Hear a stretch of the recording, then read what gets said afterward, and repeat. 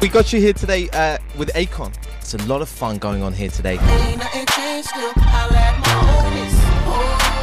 What makes Akon the perfect partner in crime? Well, right now, just this collaboration, it, it makes it's perfect. Video seems to be going Oh pretty yeah, damn well. Video is crazy. I mean, it's on some assassination type. It's like Bourne Identity.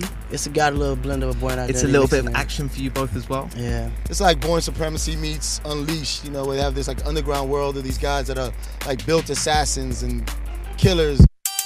The video's bounty hunter concept was appropriate for the song's original title, I'll Still Kill, but because that sounded too threatening to some mainstream media outlets, 50 changed the kill to Will. The networks they make choices where to censor things and where not to. How about the Killers?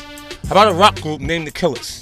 But Well- I can't title my song "I Still Kill." Their argument would be that the Killers don't write songs about um, everyday street. What does that mean? How about Guns N' Roses? How about these are all the titles to my next album? I came here hoping that you know I was looking for the truck where all the girls. I see them in your videos, and I came down here on a Sunday down to this place, Bayonne, New Jersey. here. They'll where, be where, where, where? They'll be here. Heard I was coming, they ran. There'd be a couple girls in the video, not a whole bunch. See, this However, kind, this today- no, no, this is this is. You this hid ain't- them from me. Yeah, this ain't the kind of record. This one is more street. It's not really an environment for pretty women.